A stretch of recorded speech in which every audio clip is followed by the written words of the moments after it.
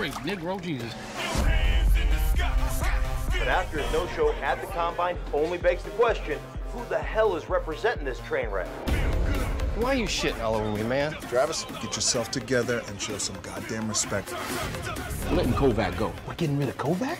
I want you to tell him. Damn it! What? Why don't we have a drink in private? A couple of things I want to talk to you about.